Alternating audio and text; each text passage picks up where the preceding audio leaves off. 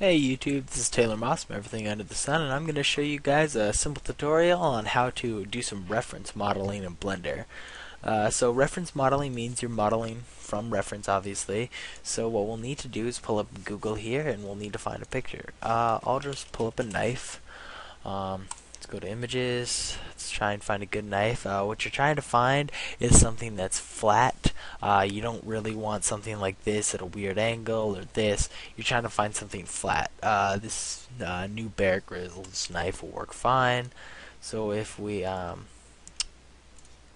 click that, oh, where is that? Okay, so if we uh, save this image, uh, we can save it as a Bear Grylls knife to our desktop and uh, close this. So we'll pop open Blender here, and uh, the first thing you have to do is press 5 on your numpad, which changes you to an orthographic view. So if you press 7, 1, 3, or 9, or just 7, 1, or 3, it'll change your view uh, completely perpendicular to the plane you're looking at. So what you want to do is uh, throw that down, and then you need to add your picture. So just click on View, and then go to Properties, and uh, Background Images, drop that down, add an image, uh, drop down that arrow, click open, desktop, Bear Grylls knife. So there's your knife. Uh, in your scene, if you go 3D, it does not work, so that's why you have to be in this ortho or perspective, completely parallel view.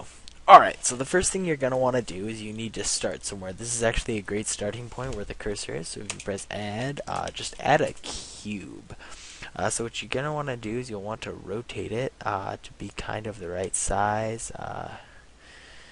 Uh, uh, you can press um, S to scale. Um, you can press SX to scale in certain ways, or SY to scale in certain ways, or SZ, um, depending on what you're trying to do.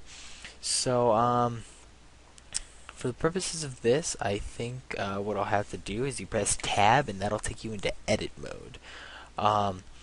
So, and when you're in edit mode, uh, you're also going to want to press Z. That removes all transparency, so that means when you click a vertex, it actually is selecting both vertexes rather than just one of them. So uh, back in this view, uh, you can press the G key and it will let you move these axes. Um, a lets you select an everything or unselect everything, and C is the circle selector. So most of the time what you end up doing is clicking, pressing A to get let go, pressing C, clicking that, and then pressing G to click on this. Uh, and then you keep going. Uh, what did I do? Alright. Uh, so then again, C, G, that. Um, and so basically, we we kind of have a basic uh, outline of this right here. So what we need to do is actually, we need to pull this up a little bit. So let's go G and pull this up over here and pull this down over here. Okay. So now what we need to do, oh, you can press shift and hold your mouse wheel to pan around like this and then zoom in. Okay, so now that we have this one piece done, uh, if you press C, you can select uh, both of those. Um, and if you press E, it'll extrude. So then you're basically adding more. And then you'll go over here and you'll click uh, this one and you'll click G. And then you'll select this one again and you'll extrude some more. And then you'll G. Remember, A is to deselect everything. So that's really useful. Uh, so basically, you just do this uh, over and over again. Um, it's a little time consuming, but it looks great when it's done.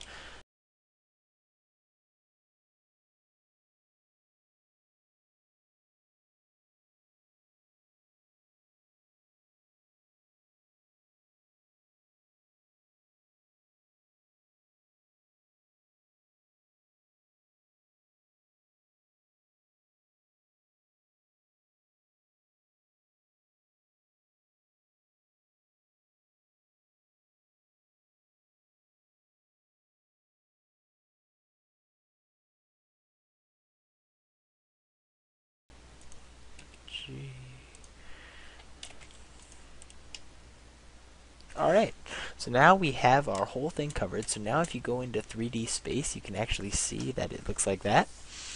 Um, but there's a problem, and that's our blade is uh, a lot bigger than we would like it to be. Um, so what we need to do is go to one of your views. Uh, this one's a little harder to do it in, but any of them actually. Um, and I'm just going to use the circle select and scale it up with my mouse wheel and select all the parts that are the blade. Uh, if you're ever confused when you have it selected, you can go to here and there we go. So these are also part of the blade. So uh, we need to get those as well in there. Alright, so now that we have all of these selected, if we press S and then Z, we'll scale in just Z axis which is pretty nice. So now if we uh, unselect and untab, you can see we have a rough knife shape. Um, from here you can do a lot of things if you'd like. Um, you could go back to here and uh, select uh, these vertices. Right, oh, gotta go to Z mode so we get both axes. So we can go into here and uh, what we could do is press W and hit subdivide. Uh, that actually adds more points here. So now what we can do is we can press um, S and then uh, Z again and make this really thin. So now when we're out of the view, you can see that it's thicker up here and tapers to a blade like a normal blade would. As you can see, I did not do it up here. I just don't think I had that selected, which is why that looks kind of different. Um, and if you look in the original image, uh, you can see there's uh, these indentions right here. So you basically would do the same thing. You would select um, with Z select Z on. You would select all the area around it, um, and you would subdivide it. Subdividing it just gives you more points to manipulate. So now that you have those points manipulate or there to be manipulated, uh, if you click them and just move these around. Um, and then go back into your 3D view and select those same ones, you can drag them down in such a way that you will you might have oh actually I think you'll have to subdivide more than once to get a reference point. But that's just a basic tutorial showing you guys how to do stuff with reference modeling. Um, a few tips and commands on how to do that. Uh, this is just really basic knife, but it turned out pretty nice. Uh, hope you guys learned something. Thanks.